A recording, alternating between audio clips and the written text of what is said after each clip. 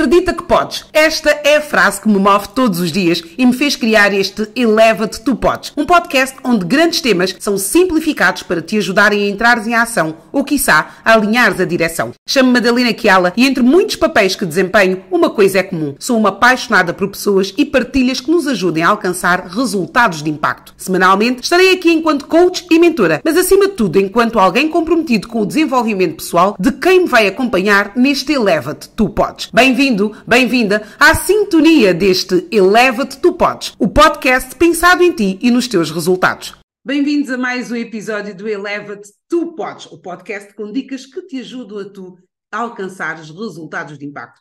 Depois de alguma ausência, sim, mas não por motivos totalmente de férias, depois de ter-me retirado para poder trabalhar a minha melhoria contínua, para poder dedicar-me à melhoria das minhas competências e também à aquisição de competências que têm como principal objetivo melhorar-me para que o meu trabalho contigo possa também ser bem melhor e para que tu possas alcançar melhores resultados do que aqueles que neste momento tu já tens.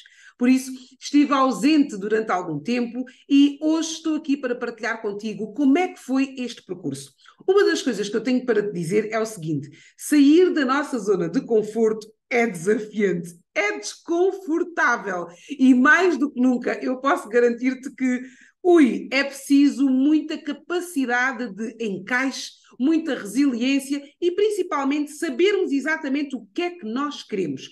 Quando temos bem presente o que é que nós queremos, o que nos move, o motivo pelo qual nós fazemos aquilo que fazemos, uma coisa é certa e eu hoje, mais uma vez, venho reforçar que o saber o porquê do que tu fazes é determinante para tu não desistires. Pois bem, se me tens acompanhado nas redes sociais, deves ter percebido que eu fiquei mais de 50 dias fora a investir nas minhas competências e estive a fazer uma formação, uma certificação internacional que me habilitou, me habilita neste momento enquanto agente de melhoria contínua Lean Six Sigma Black Belt. E de que forma é que isto vai ajudar? De que forma é que esta certificação, agregado ao trabalho e as certificações que eu já tenho de coaching, de programação neurolinguística, de coaching de alta performance, mastermind, KBB, knowledge broker, como é que isto tudo se conjuga? Pois bem, cada vez mais, não só a minha experiência profissional, como a minha formação académica e estas certificações que eu vou buscando para melhor responder aquilo que são as minhas necessidades e também as tuas necessidades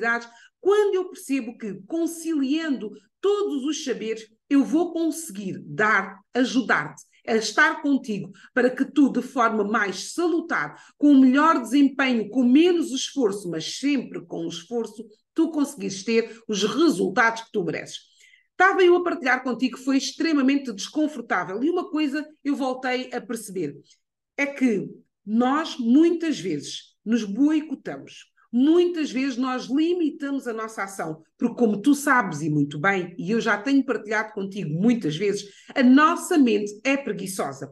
Tudo o que implica um esforço maior, tudo o que implica a aquisição de novas competências, tudo o que implica nós sairmos do tal conforto, muitas vezes desconfortável, em que nos encontramos, isso será sempre um entrave para nós podermos crescer, para nós nos desenvolvermos, para nós irmos ao encontro de aquilo que realmente nos vai potenciar. De que é que serve tu saberes se tu não aplicas? E de que é que serve tu saberes até a página A, quando tu podes aprender até ao abecedário todo e chegares ao Z? Foi isso que eu busquei e é isso que eu também te desafio a fazer. Através destas certificações, desta busca de conhecimento, desta busca de melhoria contínua, porque eu acredito que eu sou um ser em construção e por isso mesmo eu busco tudo aquilo que me vai agregar na minha vida pessoal e, consequentemente, vai contribuir para que, enquanto profissional, enquanto coach e mentora para resultados, enquanto alguém que trabalha na melhoria contínua, eu te possa também a ti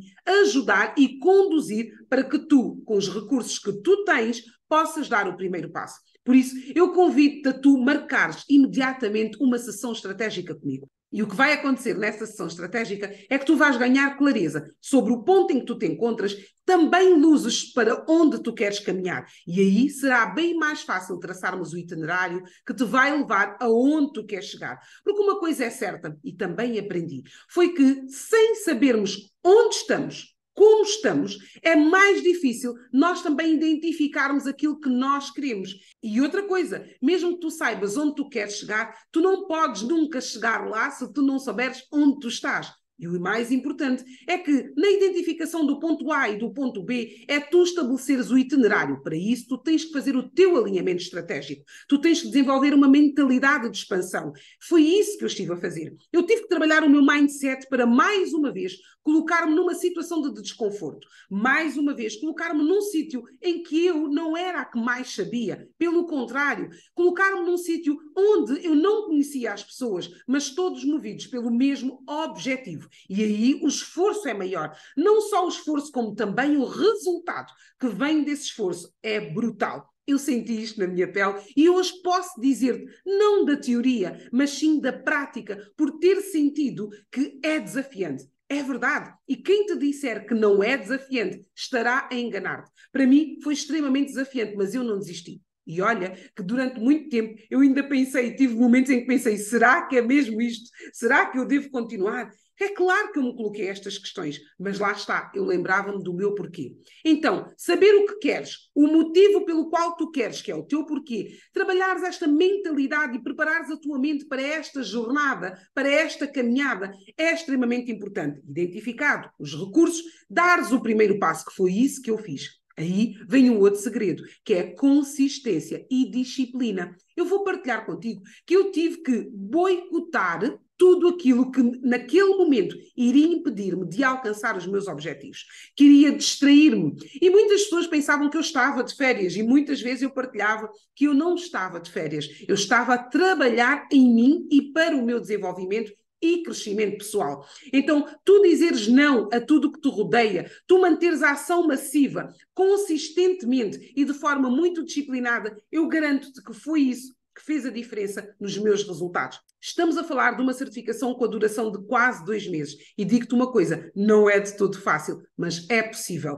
Uma certificação que me muniu dos ingredientes que me vão ajudar a eu trabalhar melhor contigo a tua necessidade, a identificarmos aquilo que é ruído, a identificarmos aquilo que é desperdício, para que tu possas padronizar tudo aquilo que funciona melhorar o que também já funciona para que tu possas então ter os resultados que bem mereces. Por isso, volto aqui a partilhar, identificar o teu objetivo. Para isso, tu precisas saber onde estás e para onde tu queres ir. Ter o teu alinhamento estratégico, uma mentalidade de expansão. Porquê? Porque é importante nós desafiarmos a nossa mente, despirmos da preguiça a que muitas vezes a nossa mente nos leva e nos sujeita e acreditarmos que é possível fazer melhor, fazer diferente. Já sabes, quando eu falo em mudança, muitas pessoas pensam que as mudanças têm que ser gigantes. Atenção, não é de todo verdade. As mudanças podem ser pequenos ajustes, pequenas nuances que trabalhadas vão fazer toda a diferença. O outro aspecto é identificar os recursos que tu já tens e com aquilo que tu já tens poderes dar o primeiro passo. E a identificação do primeiro passo muitas vezes é o que impede as pessoas de entrarem em ação. Porquê? Porque lá está. Se tu não sabes o que fazer, como é que tu vais entrar em ação? E muitas vezes tu começas pelo fim e é claro que os resultados não são alcançados. Então identificar o primeiro passo dares esse passo, entrares em ação consistentemente, aí tu vais começar a perceber o que funciona bem e o que não funciona tão bem. E todos os dias tu teres a humildade de te confrontares com a pessoa mais importante da tua vida, que é contigo mesmo, e perceberes o que é que funcionou, que é que não funcionou? Que postura tiveste tu, Madalena, perante esta jornada, perante este desafio, perante este percalço? De que forma é que tu te disponibilizas para dar ajuda e também para solicitar ajuda? Posso partilhar contigo que estes meses foram uau, intensos, intensamente vividos e muito desafiantes. E eu, em alguns momentos, pensei não ser capaz também contigo vai acontecer. Aconteceu comigo e várias vezes eu sei que ainda vai voltar a acontecer, porque é natural nós termos crenças que nos limitam, mas quando nós vamos vendo os resultados no passo a passo da nossa ação, aí as coisas acabam por fluir. Por isso, hoje eu estou em condições de garantir-te que comigo tu vais chegar aos teus resultados. Comigo é possível tu traçares a estratégia certa, a melhor estratégia para tu alcançares os teus resultados. Comigo tu vais ter um plano de ação, um plano de ação de A a Z. Mas atenção, não é um plano de ação qualquer, é um plano de ação traçado por ti comigo a ajudar-te. Um plano de ação que faça sentido para ti, de acordo com a tua identidade, com os teus valores. Porquê? Porque não é o que faz sentido para mim.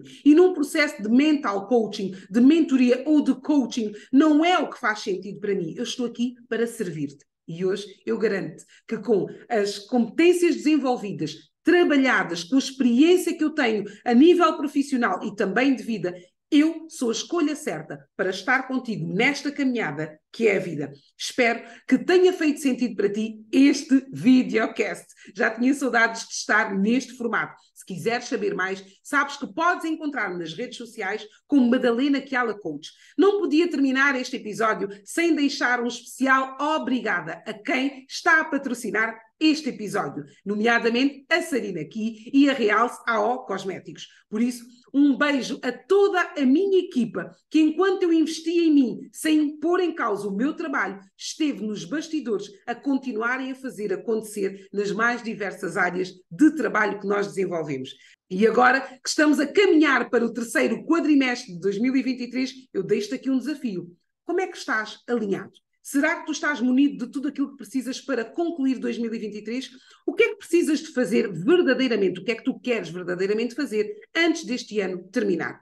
Se tu tens dúvidas, se a resposta a estas questões não é de forma imediata e é pouco clara para ti, tu tens uma solução. Marca já a tua sessão estratégica comigo, que eu terei todo o gosto em ajudar-te. Na descrição deste episódio encontra todas as informações que te vão trazer até mim, mas para isso tu precisas de entrar em ação. Eleva-te, tu podes. Espero que possas agora entrar em ação e que esta partilha tenha feito sentido para ti ter o teu feedback sobre esta partilha é muito importante para mim. Partilha comigo nos comentários, manda-me uma mensagem privada, porque eu terei todo o gosto em receber o teu feedback. Mais do que isso, conto contigo para que tu possas partilhar comigo temas que para ti façam sentido veres trabalhados aqui neste Eleva. Tu podes, o meu, teu, o nosso podcast.